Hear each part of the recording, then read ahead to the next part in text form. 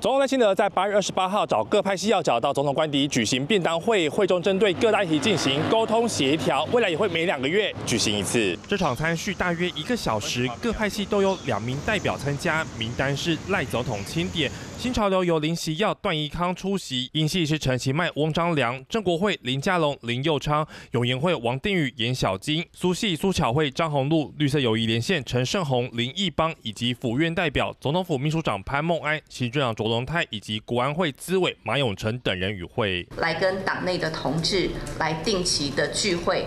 共商国事，或是来推进党部，我想这是非常正面的。而会中赖总统也针对二零二六选举交换意见，总统说目前以国政为主，不要对外讨论选举，希望各派系约束成员。他也允诺不会没收初选。而陈其迈则分析高雄初选挑战者众，就有与会者开玩笑说潘孟安也是不错的人选，让潘孟安赶紧摇手说不要害我。总统允诺公平、公正、公开的初选提名机制。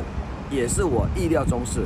我们最后一定都会团结支持党提名的人选。赖清德主席的宣誓很重要，就是做好当前的工作，透过民主的机制推动高雄的进步与发展。绿营党内人士分析，便当会都是各派系要角，可以比中常会更直接和各派系沟通。而根据台湾民意基金会最新民调，赖总统声望赞同百分之四十六点六，不赞同百分之三十八点五，跟八月相比，不赞同度飙升七个百分点，显见未来执政挑战多。赖总统延续派系共治传统，目标稳国政，拼二零二六。三十王者不由本台北采访报道。